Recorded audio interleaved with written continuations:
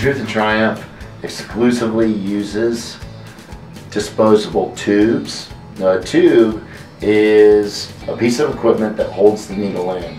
It still touches your bloody area while you're getting tattooed. Tattooers will take this metal device, scrub it, and then use it on the next guy. With disposable tubes, when the next guy comes in to get a tattoo, he gets a brand new tube. There's no other way for us than to go the route that we know is the best way to give you what you came to our shop for. I'd like to thank you all for watching this video. If you have any questions or problems, log on to www.truthandtriumphtattoo.com. Thanks.